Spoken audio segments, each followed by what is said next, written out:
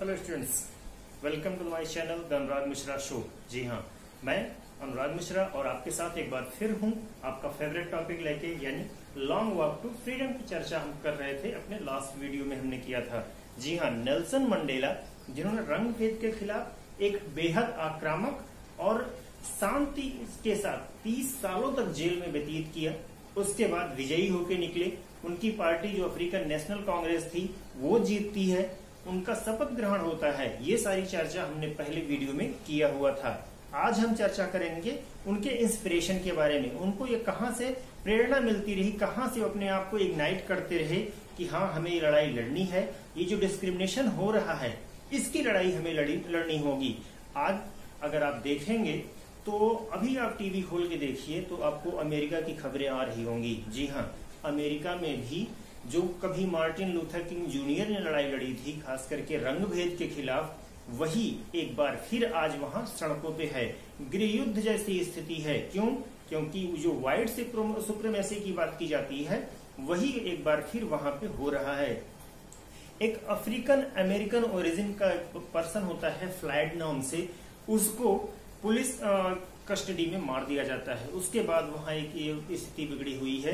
आप ट्विटर पे देखेंगे तो ट्रेंड कर रहा होगा ब्लैक लाइव मैटर्स जी हाँ रंग भेद के खिलाफ ब्लैक लाइव जिनको एक तरीके से अश्वेत लोगों के समर्थन में ये सारी चीज़ें हो रही हैं। तो कुछ ऐसी ही लड़ाई जो नेल्सन मंडेला लड़ चुके थे उनकी कहानी हम लोग पढ़ रहे थे, उनके ही शब्दों में। जी हाँ हमने अभी तक देखा कैसे उन्होंने शपथ ग्रहण ली। शपथ ग्रहण के बाद जो आर्मी का एक तरीके से कोलेब्रेशन होता था उनके साथ, जो पहले कन्फ्रंटेशन के साथ थी, अब वो एक तरीके से कंस्ट्रक्टिव सपोर्टर के रूप में, यानी पहले आमना सामना करते थे वो आर्मी के साथ कि नहीं हम आपका विरोध कर रहे हैं, क्योंकि आर्मी जो होती है, वो एक तरीके से सत्ता का समर्थक होती है। सत्ता पे जो भी बैठा रहेगा, वो उसी का समर्थन करेंगे।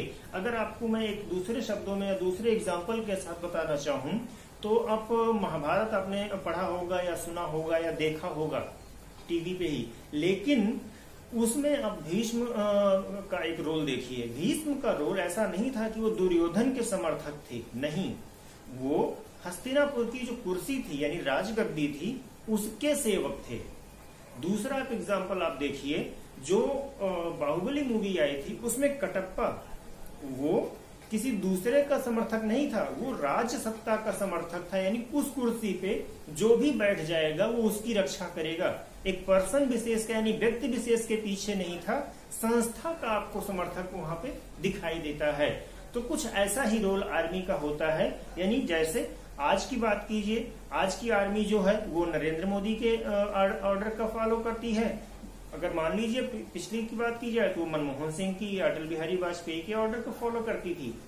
यानी आर्मी हमेशा जो रूलिंग पावर होता है, उसका सपोर्ट करता है पर्सन का सपोर्ट नहीं करता है। तो कुछ ऐसा ही हुआ, जो आर्मी पहले नेल्सन मंडेला को गिरफ़्तार करने के लिए कर रही थी, वो आज इनके समर्थन में खड़ी है या इनके सुरक्षा में खड़ी है।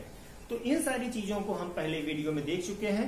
और हाँ अगर अभी तक आपने हमारे चैनल को सब्सक्राइब नहीं किया है तो तुरंत कर लें। चलिए, अब आज के वीडियो पे आते हैं। यानी उनको इंस्पिरेशन कहाँ से मिली? तो जब हम बात कर रहे थे शपथ ग्रहण की तो उसके बाद नेशनल एंथम यानी एक तरीके से राष्ट्रवाद की भावना जगाने के लिए राष्ट्रगान बहुत इंपॉर्टेंट रोल प्ले करता है, जो हम एक तरीके से सम्मान देश के लिए देते हैं।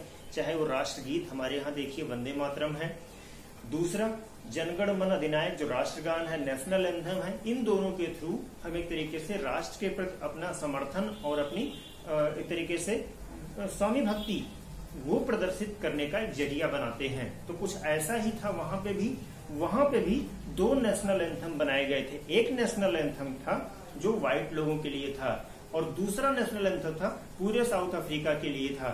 तो उनको जब वो दोनों नेशनल एंथम कहीं प्ले होते थे तो ऐसा नहीं था, अभी नया नया एक तरीके से नेशनल एंथम बना था। दोनों लोगों को एक दूसरे के नेशनल एंथम की लिरिक्स याद नहीं थी, लेकिन आप देखेंगे जब आपको कोई चीज़ नहीं याद होती है और आपको उसका रिस्पेक्ट करना होता है, खास करके जब आप क्रिकेट मैच का एग्ज़ाम्पल ले लीजिए। जब हम कोई क्रिकेट मैच देखते हैं तो वहाँ पे मैच स्टार्ट होने से पहले दोनों कंट्रीज़ के नेशनल एंथम होते हैं। चाहे वो इंडिया और पाकिस्तान का मैच हो रहा हो या इंडिया ऑस्ट्रेलिया का मैच हो रहा है तो जो दूसरा नेशनल एंथम होता है, उस टाइम के दौरान भी स्टेडियम में सारे लोग खड़े होते हैं और एक रिस्पेक्ट की मुद्रा में रहते हैं। तो कुछ ऐसा ही होता है यहाँ पे भी, जो पूरे साउथ अफ्रीका का नेशनल एंथम था, वो व्हाइट लोगों को भी रिमेम्बर नहीं हुआ था, फिर भी लोग उसके रिस्पेक्ट में हाथ अपने दिल पे रख के खड़े हुए थे। और जो व्हाइट लोगों का नेशनल एंथम था, उनको ब्लैक लोगों से नफरत थी, लेकिन फिर भी आज क्या है? आज स्थितियाँ बदल चुकी हैं। ब्लैक लोगों का प्रतिनिधित्व करने वाला नेशनल मंडेला आज एक कुर्सी पे बैठा हुआ है और उसके सम्मान के लिए ये लोग आज व्हाइट वाले नेशनल एंथम को भी सपोर्ट कर रहे हैं या उसका सम्मान कर रहे हैं। तो यही से उनको एक इंस्पिरेशन भी मिलती है कि यही जो एक दूसरे के सम्मान की भाव है, जो आज जगी है, ये पहले भी था। यानी जब वो जेल में थे तो जेल अथॉरिटीज यानी जेल के अधिकारी होते थे, उनका इनके प्रति जो व्यवहार था, वो यही था। और यही से उन्होंने ये बात कही थी कि अगर किसी के अंदर आप नफरत पैदा कर सकते हो तो प्यार भी पैदा कर सकते हो। यानी नेशनल एंथम के लिए, एक दूसरे के नेशनल एंथम के लिए सम्मान और परस्पर सहयोग की, यानी म्यूचुअल एक तरीके से जो समानता की भाव थी, यानी हम आपका सम्मान करेंगे और आप हमारा सम्मान करेंगे। ये भावना वहीं से विकसित हुई और यहीं से उनको एक तरीके से प्रेरणा मिली अपनी लड़ाई को आगे बढ़ने के लिए। फिर उन्होंने एक और बात की।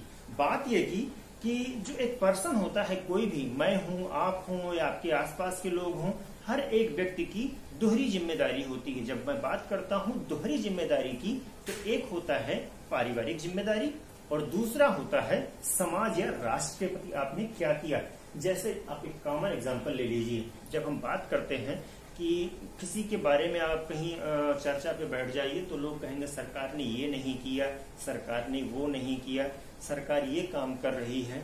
लेकिन अगर आप वही पूछ लीजिए कि आपने क्या किया तो फिर क्या जवाब होता है? यानी आज के टाइम की वस्तु स्थिति ये है कि आपको अधिकार तो बताए जाते हैं कि बीइंग ए टीचर आपका ये अधिकार बनता है बीइंग ए स्टूडेंट आपको ये करना चाहिए, लेकिन कर्तव्य?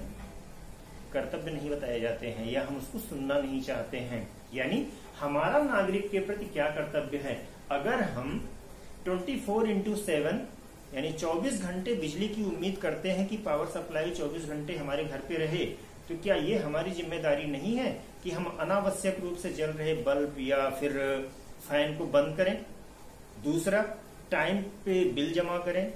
अगर सारे नागरिक ऐसा करने लगे तो सरकार बाध्य हो जाएगी आपकी सेवा करने के लिए। लेकिन होता क्या है? दस लोग करते हैं, पचास लोग नहीं करते हैं। उसमें जो टाइम पे कर रहा है, वो बेचारा ठगा हुआ महसूस करता है। यानी हमारी जो सामाजिक ज़िम्मेदारी है, राष्ट्र के प्रति हमारी ज़िम्मेदारी है, वो भी होना चाहिए।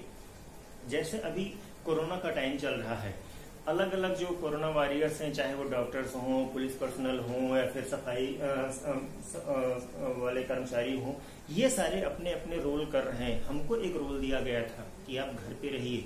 हमने कितनी शिद्दत से निभाया, ये आप भी जानते होंगे। तो यह सारी चीज़ें होती हैं सामाजिक ज़िम्मेदारी का। हम अपनी पारिवारिक ज़िम्मेदारी का वहन तो अच्छे से करते हैं लेकिन जब बात आती है राष्ट्र के ऊपर समाज के ऊपर तो वहाँ हम पीछे हो जाते हैं।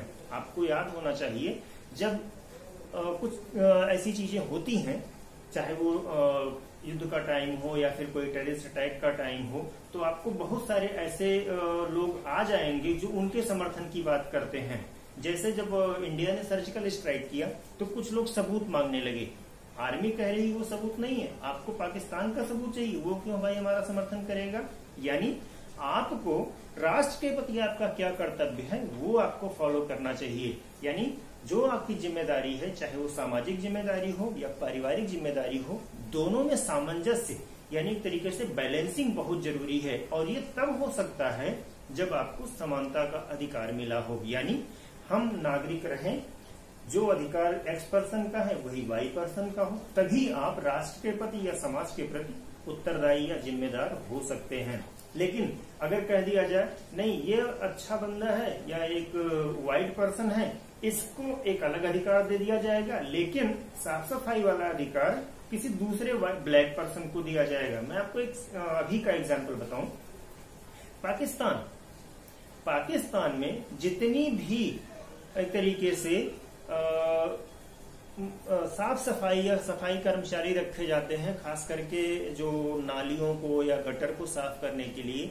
उसके लिए वहाँ पे सिर्फ़ और सिर्फ़ माइनॉरिटीज को नियुक्त किया जाता है। अब पाकिस्तान की माइनॉरिटीज सिख और हिंदू हैं तो आप सोच सकते हैं वहाँ पे किस तरीका का ट्रीटमेंट हो रहा है।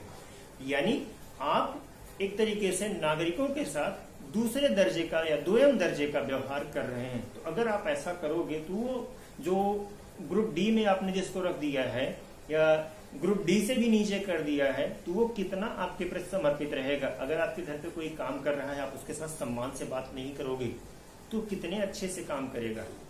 वही बात होती है।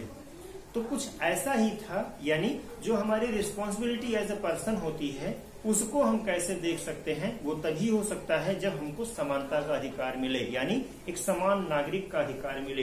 अब अगर हम नागरिक अधिकारों की बात करते हैं तो चाहे वो अर्निंग का हो या फिर बिज़नेस का हो या फिर आ, आपके सम्मान के साथ जीवन जीने का हो या फिर मैरिज का अधिकार हो यानी जो विभिन्न तरीके से मानवाधिकारों की बात की गई है वो आपको मिलना चाहिए और वो समान रूप से मिलना चाहिए। तो ये सारी चीज़ें उनको प्रेरित करती गई। और इन्हीं सारे तरीके से जब उन्होंने देखा कि जो वहाँ के ब्लैक लोग हैं, अश्वेत लोग हैं, यानी जो वहाँ के मूल निवासी एक तरीके से हैं, उनके साथ दुर्व्यवहार हो रहा है डिस्क्रिमिनेशन हो रहा है, भेदभावपूर्ण रवैया अपनाया जा रहा है। उनको हर एक कामों में अलग रखा जा रहा है। उनके लिए अलग नियम है, दूसरों के लिए अलग नियम है। तो वहाँ से उनको ये लगा कि नहीं, अगर मैं अपने लिए लड़ सकता हूँ तो ये तो सिर्फ़ मेरी बात हो जाएगी। यानी ये मेरा एक तरीके से पर्सनल हो जाएगा। और पर्सनल मैं कर सकता हूँ, बाकी सारे लोग कहा जाएँगे? यानी कि उन्होंने सामाजिक ज़िम्मेदारी को भी उठाई। और जब सामाजिक ज़िम्मेदारी उन्होंने उठा ली तो उनके साथ एक कारवा बनता गया। और कारवा बनने का परिणाम आज यही है कि साउथ अफ्रीका में जितने अधिकार आज व्हाइट पीपल को मिले हैं, उतने ही अधिकार ब्लैक वालों को भी मिले हुए हैं।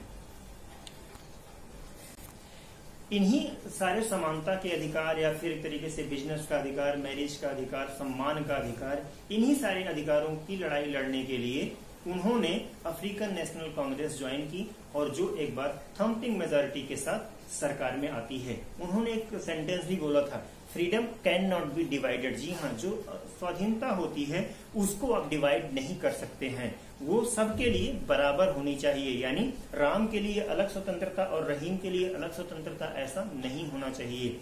जो स्वतंत्रता रहीम के लिए होना चाहिए, वही स्वतंत्रता राम के लिए भी होनी चाहिए। यानी जो नेशनल रिसोर्सेज हैं, राष्ट्र के जो संसाधन हैं, उस पर हर एक नागरिक का समान अधिकार होता है। और ऐसा ही एक कोर्ट में आपको याद दिलाना चाहूँगा। हमारे एक पूर्व प्रधानमंत्री हैं, मनमोहन सिंह।